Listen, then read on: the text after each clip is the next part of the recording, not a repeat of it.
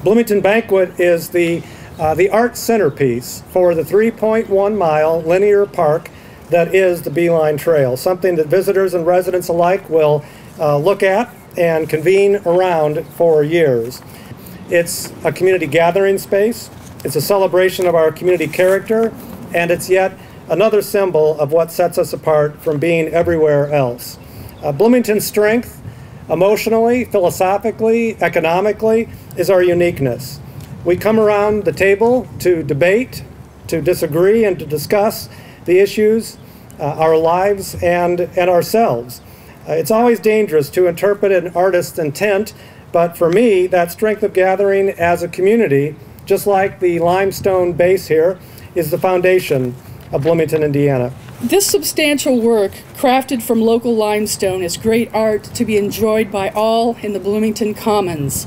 It anchors the place where people will continue to gather to attend forums in City Hall, commune with neighbors, and buy locally grown food at the farmer's market, exercise, and relax along the B-Line Trail.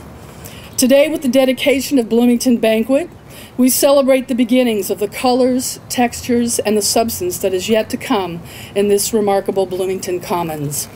What draws us out of our isolation and away from our healthy individualism brings us together in the spirit of community.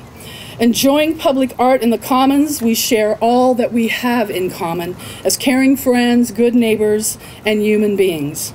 In Bloomington, we value and invest in the arts. The reality is that it takes a community of like minded people, such as you, to create a 75,000 pound table and chairs. It is my hope, in some small way, that this sculpture may speak to others about our community and the nourishment and sustenance that is offered here in Bloomington. I'm very grateful to each and every one of you that make this community what it is. Thank you.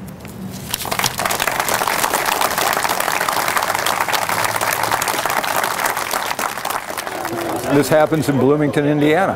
Uh, you know, that's why I live here. It's just, it's a cultural oasis.